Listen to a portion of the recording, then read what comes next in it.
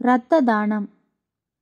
ஆஸ்திரேலியாவை சேர்ந்த James Harrison என்பவர் பதினான்கு வயதாக இருக்கும்போது அவரது நெஞ்சில் பெரிய அறுவை சிகிச்சை ஒன்று நடைபெற்றது. அதற்கு பதிமூன்று லிட்டர் ரத்தம் தேவைப்பட்டது.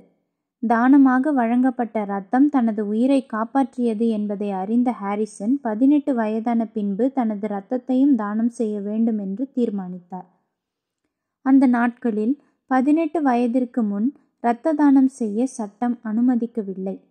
ஆயிரத்தி தொள்ளாயிரத்தி ஐம்பத்தி நான்காம் வருடம் பதினெட்டு வயதை பூர்த்தி செய்ததும் தனது தீர்மானத்தை மறக்காமல் இரத்த தானத்தை துவங்கினார்.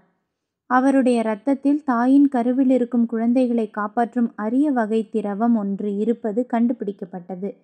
கருவறையில் இருக்கும்போதும் பிறந்த பின்பும் ரெசுங் என்ற வியாதி குழந்தைகளை தாக்கி அவைகள் மரணம் அடைய வாய்ப்புகள் அதிகமாக உள்ளன.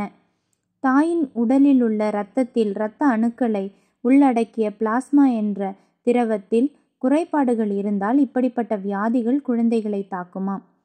ரெசுங் என்ற வியாதி பொதுவாக குறை பிரசவம் குழந்தை இறந்து பிறத்தல் மூளை பாதிப்புடன் குழந்தை பிறத்தல் போன்றவைகளுக்கு காரணமாகும்.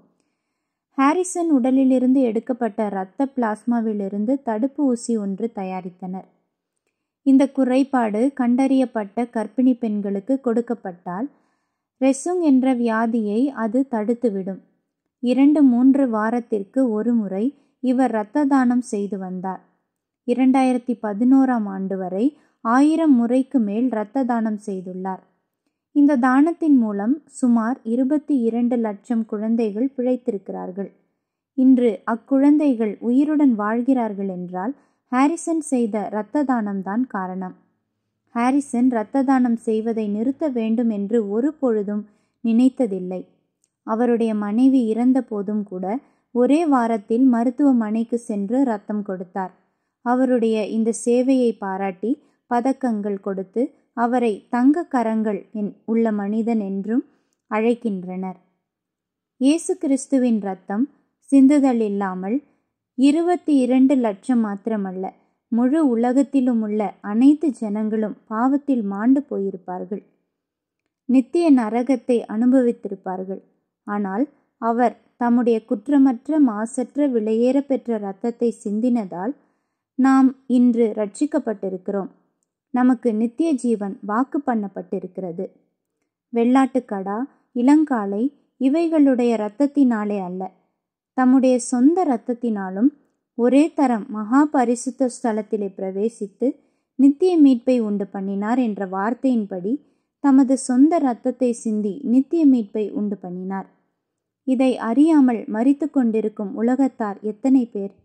நித்திய மீட்பை அவர்கள் பெறவில்லையே. இந்த புதிய வருடத்தில் இயேசு கிறிஸ்துவின் இரத்தத்தால் மீட்கப்பட்ட நாம் நித்திய நரகத்திற்கு நேராக செல்லும் ஒவ்வொருவரையும் மீட்டெடுக்க முயற்சிப்போமா? அவர்களிடம் கர்த்தரை குறித்து சொல்லுவோம். முடியாத பட்சத்தில் ஒவ்வொரு நாளும் அவர்களுக்காக ஜெபிப்போம். அவர்களும் எப்படியாவது தேவன் அருளிய இலவச ரட்சிப்பை பெற்றுக்கொள்ள இணைந்து ஜெபிப்போம். சத்தியத்தை எடுத்து சொல்லுவோம். கர்த்தர் சீக்கிரம் வருகிறார். ஆமேன். அல்லே லூயா ஜபம். எங்கள் அன்பின் பரலோக தகப்பனே இயேசு கிறிஸ்துவின் ரத்தம் சகல பாவங்களையும் நீக்கி எங்களை சுத்திகரிக்கும் என்ற வார்த்தையை அவரை ஏற்றுக்கொள்ளா தோறும் கேட்டு ரட்சிப்பு அடையும்படி செய்வீராக. இந்த புதிய வருடத்தில் அந்த விலையேற பெற்ற ரட்சிப்பை பெற்றுக்கொண்ட நாங்கள் மற்றவர்களுக்கு உம்மை குறித்து சொல்லவும் அழிந்து போகிற ஆத்துமாக்களுக்காக கருத்தாய் ஜெபிக்கவும் தீர்மானம் எடுத்து அதன்படி செய்ய எங்களுக்கு கிருபை தாரும். இயேசு கிறிஸ்துவின் ஜீவனுள்ள நாமத்தில் ஜெபிக்கிறோம். நல்ல தகப்பனே. ஆமேன்.